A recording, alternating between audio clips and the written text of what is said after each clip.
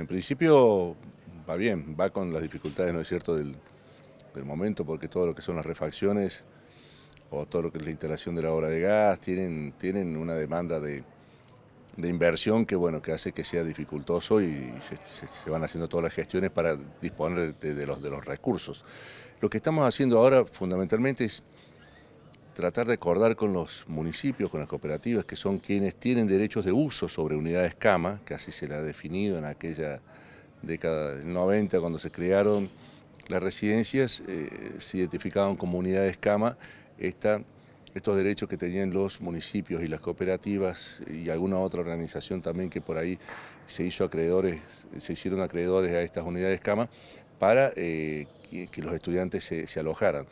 Eh, estamos acordando que hay que mantenerlos en las mejores condiciones y que para eso se requieren también inversiones y que para eso se requiere dinero y que tenemos que hacer un esfuerzo conjunto entre la universidad y entre los eh, que tienen estos derechos, que son los municipios básicamente, eh, para poder concretarlo, ¿no? porque si no, hasta ahora la universidad ha venido haciendo inversiones, ha venido haciendo trabajos, pero no son suficientes.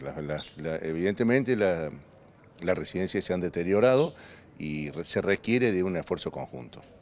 ¿Cuáles son eh, los motivos y, los avances que ha habido en estas reuniones eh, por parte de la gestión actual de nuestra universidad con, eh, con estas organizaciones que usted nombraba?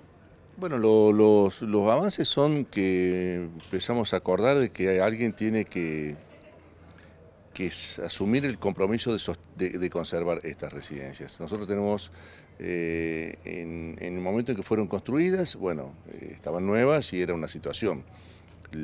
Paso del tiempo las ha ido afectando y la verdad que no ha quedado absolutamente claro quién tiene más responsabilidad y quién tiene menos, porque bueno, siempre se hizo con acuerdos entre las organizaciones, entre las instituciones, digamos, la universidad con los municipios, siempre en términos de acuerdo.